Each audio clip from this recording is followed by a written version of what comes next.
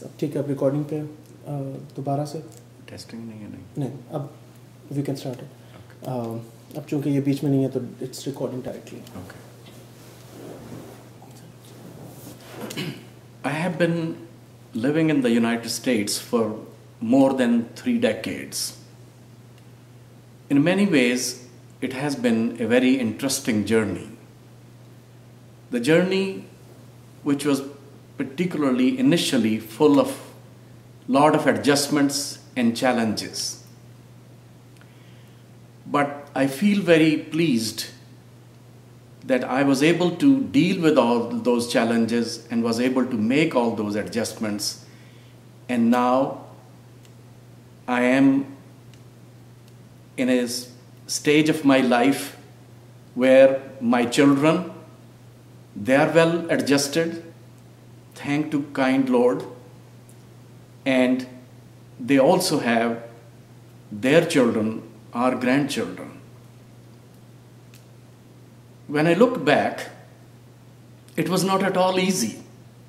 I remember the time, the first year of my life here in the US, when I was working in a hospital for 10 to 12 days, I did not even realize that Ramadan had started.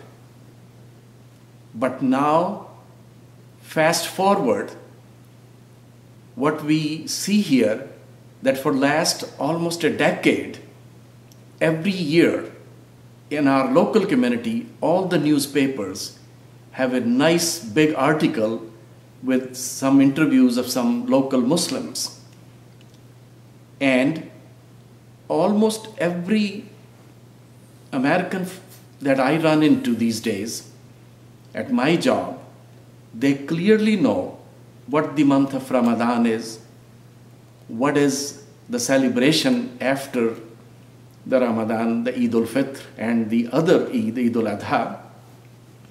Actually, a co worker only yesterday somewhat hesitantly said to me, Ramazan Kareem. And then he said, Oh, is this the way how the greetings are in the religion of Islam? And then we talked about what fasts are all about.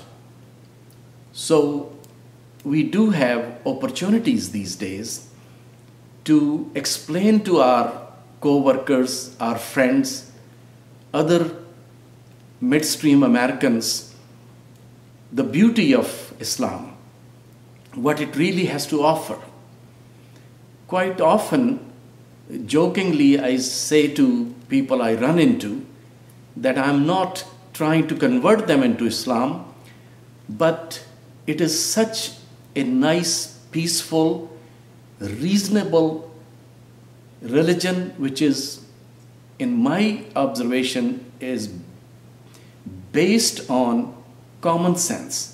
Whenever I thought about any serious issue, it ultimately come, came down to that it did appeal my common sense. So the struggle was really, which started years back in Philadelphia where I was under training. In many ways, it continued. How to find like minded people. By that, I mean mostly people of the same faith, because their number was very few. So we usually used to turn towards educational institutions like colleges and universities. We used to meet there, we used to pray there and talk about country of origin Pakistan and about Islam.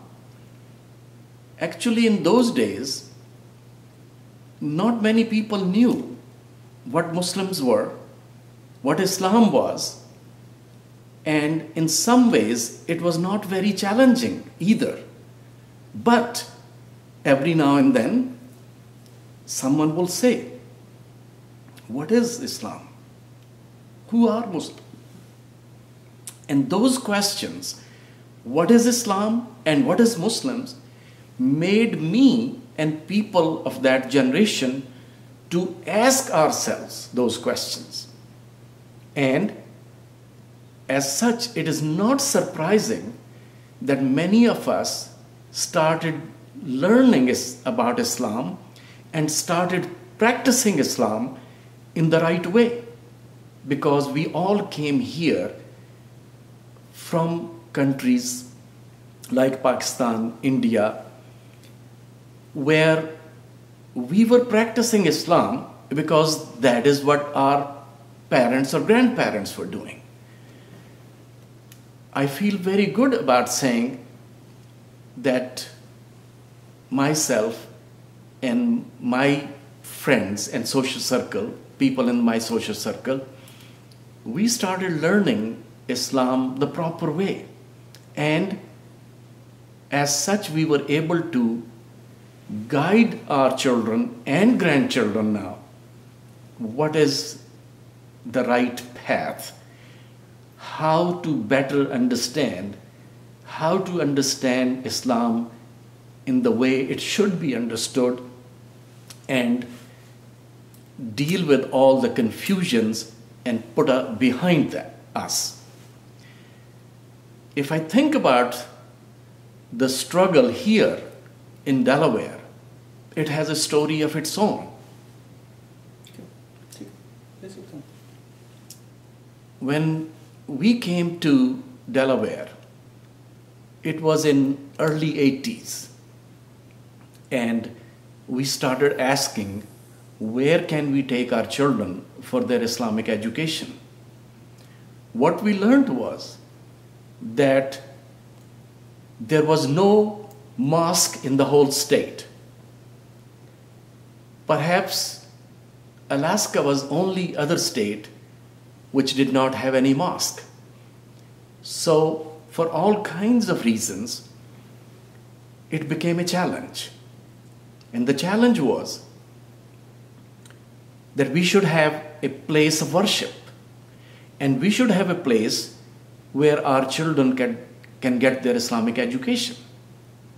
As we moved further, then other challenges came to surface, which was how to help our co-workers in the midstream America to understand who we were actually, who we really were, and what our religion was, what were its teachings, how it was different, and how it was similar to the religion which most people were practicing, being Christianity.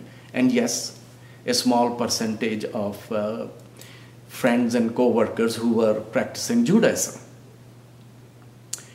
And then we also had to put in perspective that Muslims are not just those who, like ourselves, grew up in India or Pakistan.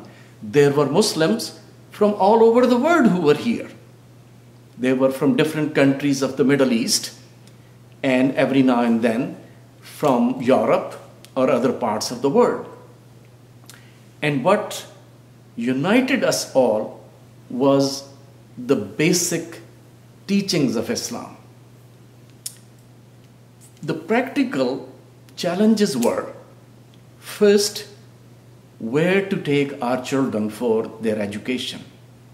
The most we could think about in those days was a Sunday school, which was just like a Sunday school in church related schools or some other American friends told us that they had Sunday schools here, which was primarily, uh, obviously, for Christianity and Christian teachings.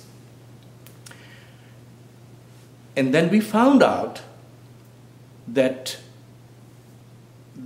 there were children who were getting together in Goldey-Beacom College. So we started taking our children there. At times, more I got involved, more I felt that there was something lacking. As a child developmentalist, what I felt was that the parents would drop their children at the main gate and then they will come back after a few hours to pick them up. And I started asking politely to all those parents that do you think that that is all the Islamic education that your children need? And that, in my personal and professional view, that was not enough. That they should get involved. They should get involved with the education, with the teachers, with the administration, and also continue the teaching that the children were receiving in school in homes too.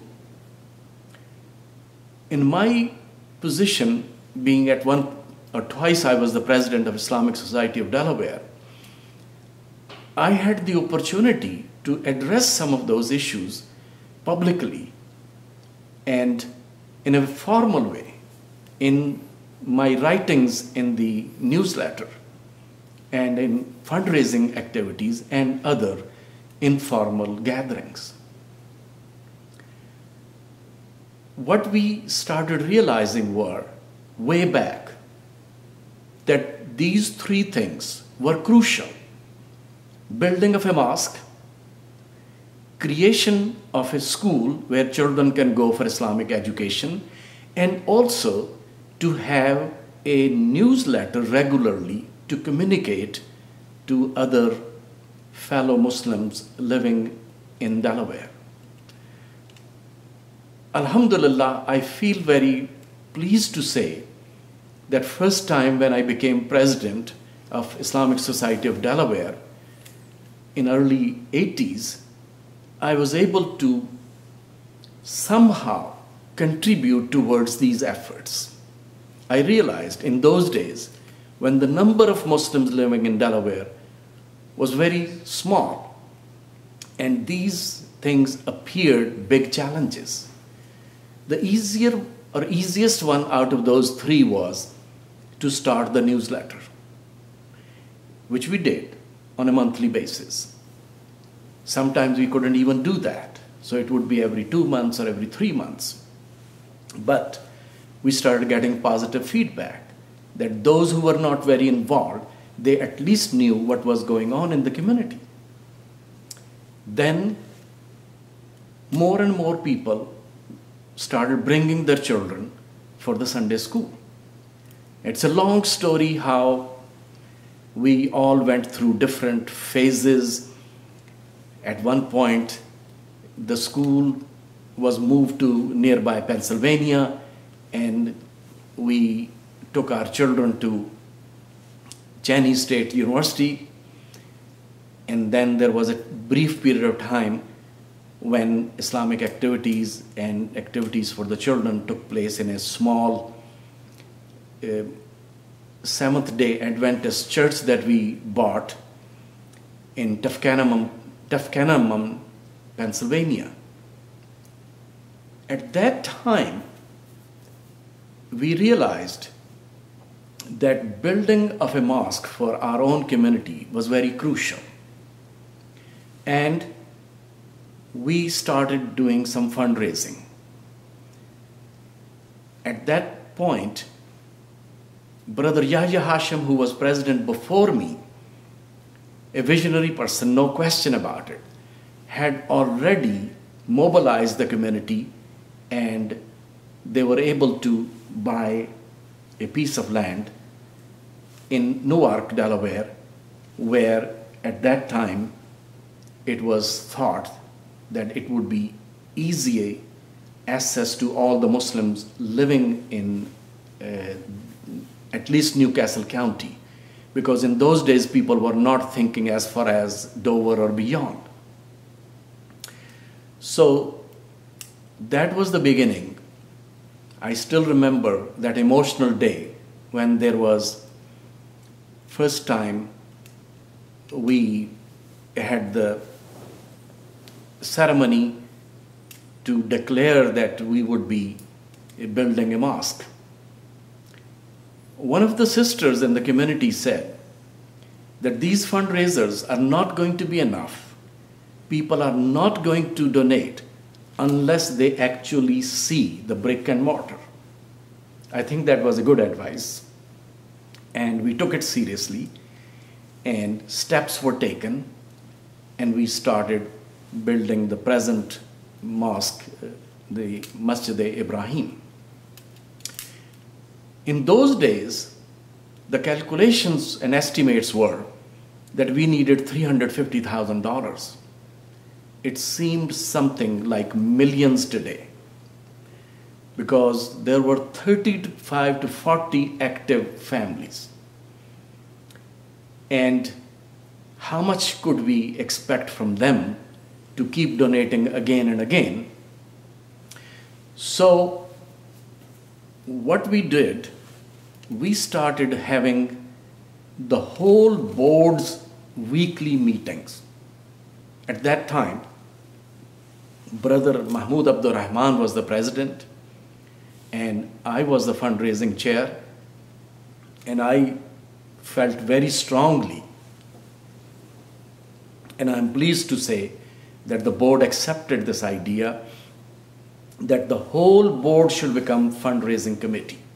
At that time, we had 20 board members. And we met every week. Actually, Brother Iqbal Aziz eh, had a, an office, a real estate agency office in Newark, not too far from the masjid. That's where we used to meet. And we used to update each other about our fundraising activities as individuals and who